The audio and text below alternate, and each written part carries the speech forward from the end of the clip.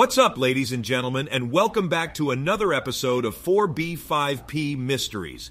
Today, we are diving deep into the world's oldest anarchy server to uncover the secret dupe stash of none other than the notorious player himself, popbob. I'm FatMC, and let's get into this mystery together, shall we? All right, folks, we're making our way towards popbob's rumored dupe stash. Legend has it that it's hidden deep within the darkest corners of the Nether.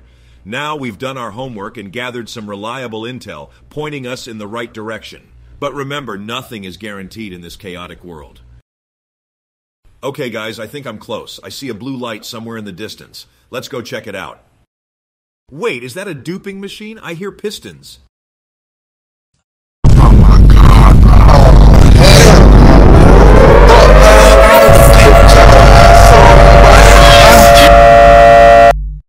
Guys, I do not think that was a duping machine. We might have to go back and visit him another time. And there you have it, ladies and gentlemen. Our journey to find popbob's secret dupe stash led us not only to the stash itself, but to an unexpected encounter with the man behind the legend. While some may consider it controversial, I fully support popbob and his decisions. Okay, guys, I will see you next video. Bye, Fat Fam.